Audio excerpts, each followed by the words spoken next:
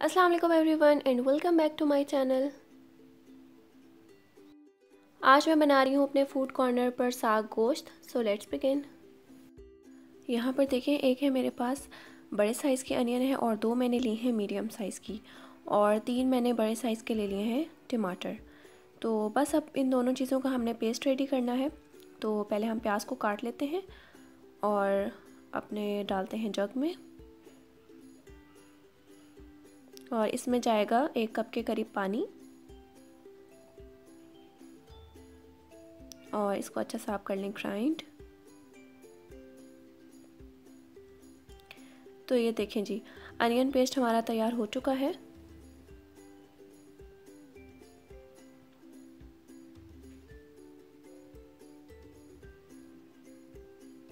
और अब हम रेडी कर लेते हैं टोमेटो पेस्ट टमाटर काट के डाल दें।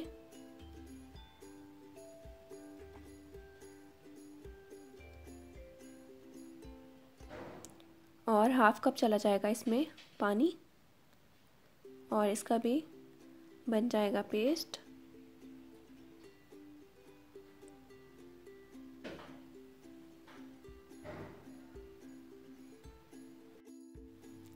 यहाँ पर अब हम ऐड करेंगे one and quarter cup oil.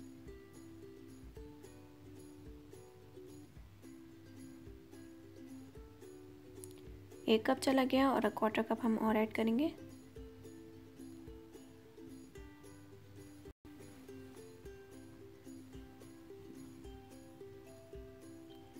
अब इसमें जाएगा एक खाने का चमचा भर के अदरक लहसुन का पेस्ट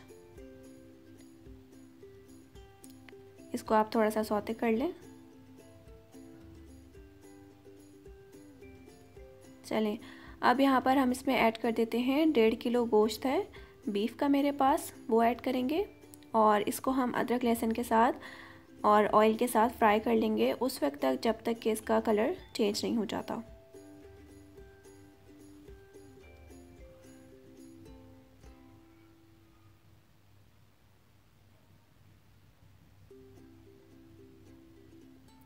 तो ये देखें कलर चेंज हो चुका है और अब इसमें जाएगा एक खाने का चमचा नमक। आधा खाने का चमचा पिसी हुई लाल मिर्च, एक खाने का चमचा गरम मसाला पाउडर,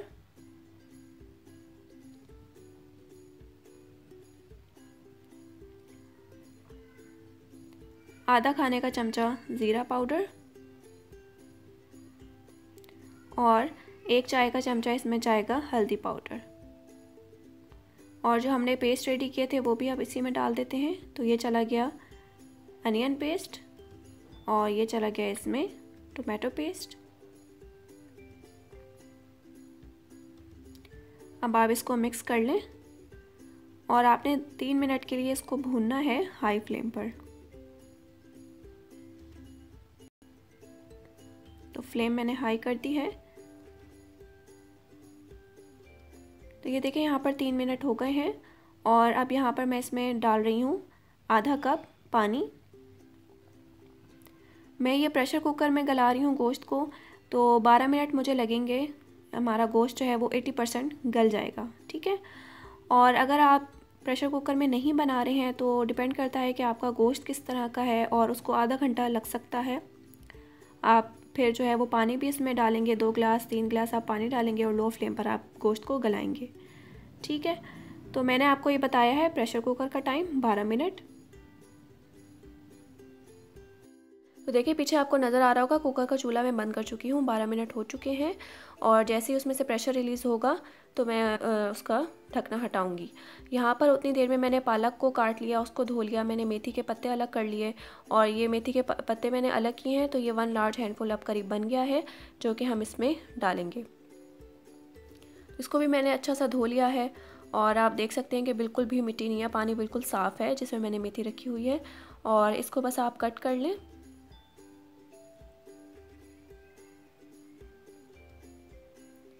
और अगर आप लोगों के पास मेथी नहीं है और आप ये बनाना चाह रहे हैं साग तो आप क्या करेंगे, जिस टाइम पर आपने एक टेबल स्पून अदरक लहसुन का पेस्ट उसमें ऐड किया था ऑयल में, उस टाइम पर आप एक टेबल स्पून आप डाल देंगे मेथी दाना और उसके बाद आप गोश्त ऐड करेंगे और बाकी के स्पाइसेस वगैरह ऐड करेंगे। ठीक है? तो यहाँ पर हमारी मेथी हम फ्रेश यूज़ कर रहे हैं। पर देखिए, मैंने लिड हटा दी, चूल्हा मैंने दोबारा से ऑन कर दिया है। गोश्त जो है ना वो हमारा करीब 80 परसेंट गल चुका है। बाकी का गोश्त हम साग के साथ गलाएँगे। चलें तो अब हम इसमें ऐड कर देते हैं पालक।